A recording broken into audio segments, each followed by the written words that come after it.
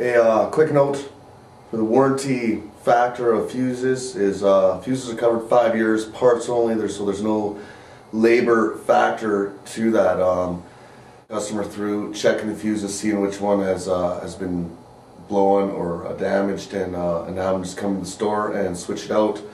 If not, it's a uh, chargeable call to go and change it out for them. Just a note for you. Remember that in the future. Cheers. Peace. Fuses. What we're going through. F U S E fuse. Fuse. We're gonna go through uh, location of the fuses, for what component they're for, and test them. That's what we're doing. Metapack. You have this plate that's on the front. So you're gonna unplug your top side, etc. Take this off. So we're gonna look right here. You have a time delay fuse, and right on the pack, you might might not see it says pump one. Next one beside that is your ACC, and it's a 20 amp. That is your accessory. Accessory covers your blower, ozone, circ pump, stereo, and the cooling device. Next one beside that is another 30, which does your pump number two. And if we swing back to the left, we have a little glass fuse that says XFO. It stands for transformer. Then we're going to drop down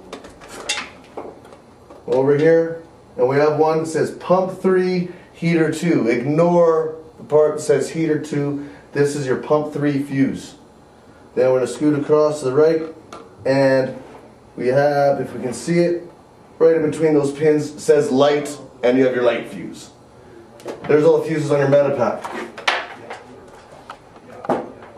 We're under our Global. Global doesn't have the plate in front, so as soon as you open it up, you can see right away. And nice big letters, pump one, pump two, pump three, not a heater, forget heater, pump three, transformer, XFRMR, abbreviated for transformer, circ pump and ozone, and your blower. And last we have the light fuse. Now if you want to test a fuse, you want to take the needle nose pliers. If you're really good, you were good at operation as a child, you can pull them out without making the buzzer go off or electrocuting yourself. You're going to take a multimeter, you're going to go to ohms, we're checking for continuity.